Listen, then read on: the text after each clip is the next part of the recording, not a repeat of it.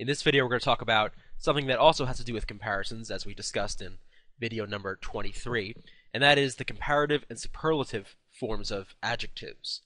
So let's say we're talking about two baseball teams, the Yankees and the Mets. Apologies if you're a Mets fan, but let's say I want to compare which team is, you know, more skilled. I, want, I don't want to use the word because I want to give it away, but you know, if I'm just talking about one team, I would just say, you know, the Yankees are good, right?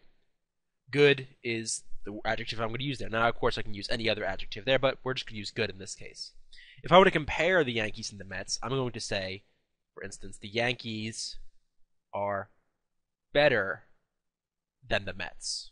So here I'm using the comparative version of this adjective good to become better. Now let's uh, come up with another example. Now, of course, this is in a regular case, right? We have good, which becomes better, and then as you'll see later, it becomes best when it's the superlative form. But when we have any adjective, generally it's going to follow a regular form. So, um, let's say John is rich, but if he is, you know, more rich than another person, it's going to be John is richer than Mike. Now note, I use the comparative when I'm comparing two things. So in this case, John to Mike, here the Yankees to the Mets.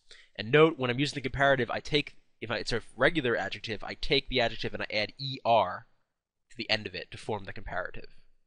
Now, what if you're comparing more than two things? What if we're comparing three things or more? So this, the comparative, just to sum up, comparative is two things. When we compare three things or more, we use the superlative. Uh, so three things plus. So an example here would be John is the richest you know, of his friends or whatever.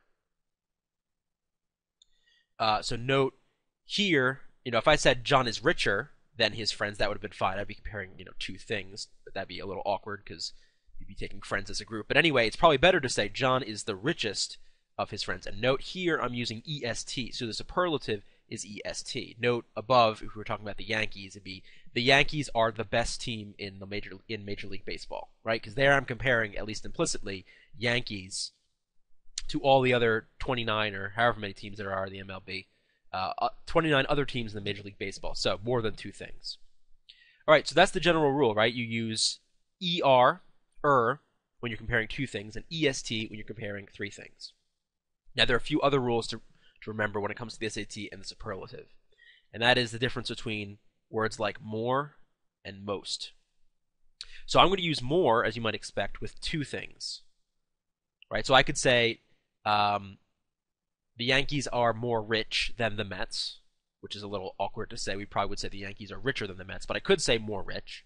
Um, how about famous? Because uh, that's probably a better case here. Because sometimes with a superlative like famous, you really can't have famous-er. So you would use more famous. So you know the Yankees are more famous than whoever. Um, if I use most, it's going to be again with three things plus. So I would say um, out of all the American League teams, the Yankees are the most famous. All right, I'm just right. Three things plus I use most in that case, and I wouldn't say famous est because that's awkward. So yeah, so you can either use the adjective with er or est, uh, or you can use more or most, and you especially use these when the adjective wouldn't really lend itself to being uh, changed into a comparative or superlative form. Uh, another example would be say the word beautiful. You wouldn't say beautifuler. Be- beautiful oops, beautiful, right? You wouldn't say beautifuler or beautifulest. You would say most beautiful, more beautiful. Okay, so that's another thing when it comes to uh, more and least. Also, you would also say less and least, right? So he is less intelligent. Uh, he is the least intelligent. Period. All right, so those are some other comparison words. There are other things though that we do need to know that the SAT likes to test a lot. One of them is as follows. When you compare two things, you use between.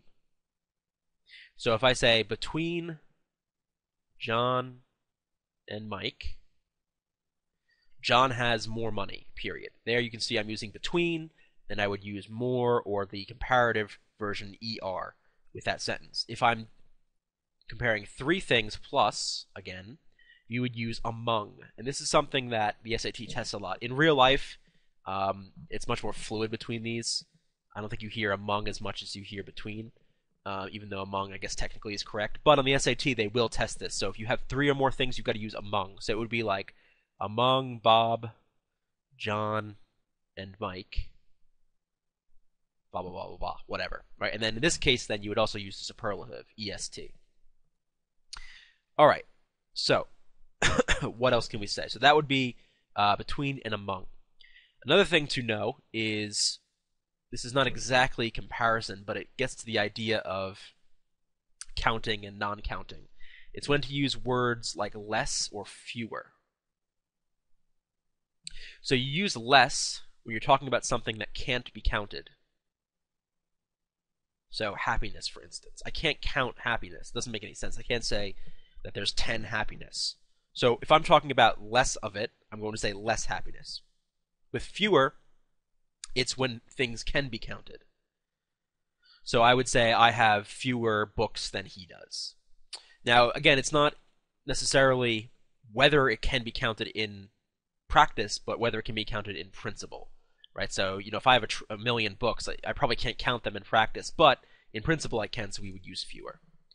All right, so I would use fewer with things that can be counted less with things that can't be counted. An example of this where you might see this in real life is in the checkout line at the grocery store, in those express lines. If you see 10 items or less, that's actually technically grammatically incorrect. Right? It should be 10 items or fewer because I as you can see I can count the number of items. Alright, let's see if there's anything else that we should add here. We've gone over comparative and superlative. Uh, we've gone over among and between, which are the big ones there. We've gone over more, and most. Um, and note again, as I mentioned earlier, that when you're doing when you're doing any kind of comparison, you got to make sure you're comparing apples to apples, right? So if I say, you know, Steven Spielberg's movies are more famous than, um, I don't know, George Lucas, right? You can tell then that there's an issue. I have to do more than George Lucas's movies or whatever. Period. Um, so again, the rules of comparisons stay here too. You got to make sure you use the apples and apples comparisons, that you're not comparing two different things. Uh, and then also, once you do that, you have to determine, okay, how many um, things am I comparing? Therefore, do I use the comparative or the superlative? Do I use more or most? Do I use among, between, and so on? And the SAT, that's what they're going for, and that's pretty much all you need to know for that section.